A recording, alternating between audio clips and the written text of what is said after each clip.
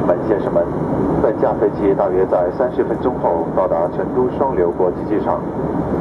成都的地面温度十八摄氏度，六十四华氏度。由于机舱内外温差较大，我们提醒您适当增加衣物。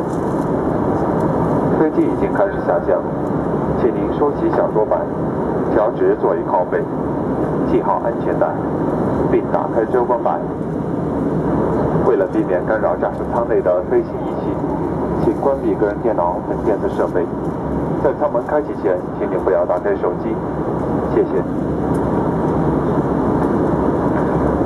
Ladies and gentlemen, we will arrive at Chengdu Shuangliu International Airport in 30 minutes.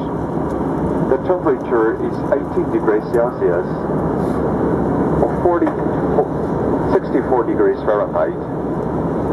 As we prepare for landing, please return your seat back to the upright position.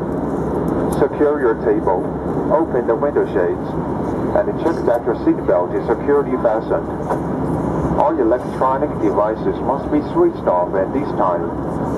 You must not draw mobile phones until the seatbelt sign is switched off. Thank you.